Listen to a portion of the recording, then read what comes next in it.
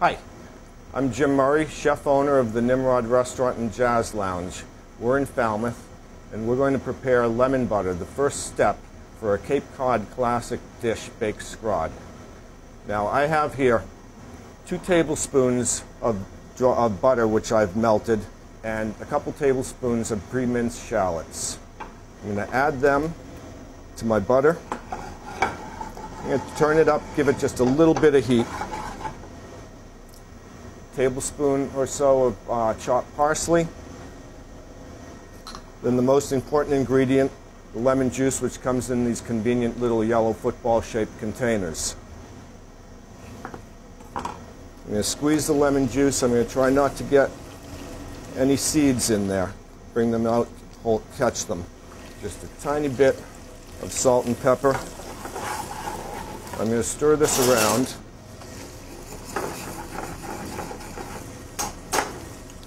And that's it, we're done. Now you can keep this in your refrigerator or freezer for months, make as much of it as, or as little as you want. And the next step is to assemble this uh, dish and bake it. First let me tell you about scrod. Scrod is actually a market cut. It's a size of fish. If you look at the uh, daily report, you'll see that uh, cod and haddock and other fish are sold by Scrod, Market, Whale, and or Jumbo. Scrod typically has been baby cod or baby haddock, almost always skinned. This is skinned haddock. You want to look for a nice fresh fillet and you can tell that by two ways.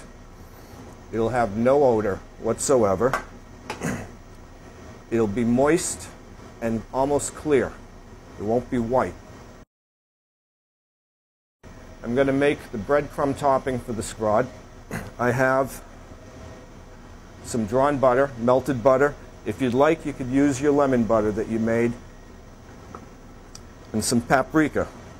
I'm looking for a color more than I'm looking for a uh, specific amount of paprika. Paprikas are all different and they, they vary. So I'm, I'm mixing this up with a little bit with the paprika and I lucked into the color I'm looking for right off the bat here. I'm putting in such a little amount of time that I'm just about wasting my time doing it. And the same with the salt and pepper. A little behind the back for good luck. Okay? now, I'm going to assemble this dish and we're going to put it in the oven. I've got a sizzle platter. You can use any oven-proof dish that you have. You size it appro appropriately to the, what, to the amount of entrees you're preparing for yourself or your family. I'm putting just a little bit of my lemon butter with these nice shallots right on top. I'm going to cover it nicely, but not over, not overly overly padded with the crumbs that we've just made. just to make it brown up and crisp just right, I'm going to add a little bit more of our lemon butter.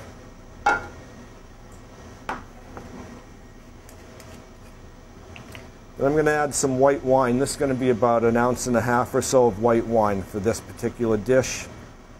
You can use water.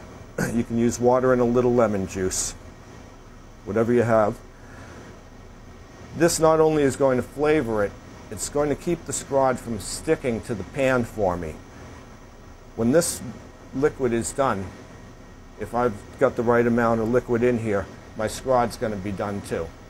I'm going to put this in a hot oven now, over 350 and under 475. I happen to use a 425 degree convection oven. This piece is going to take 10 minutes, possibly 11 or 12. Okay, so our scrod's out of the oven and we're ready to plate it. And at home,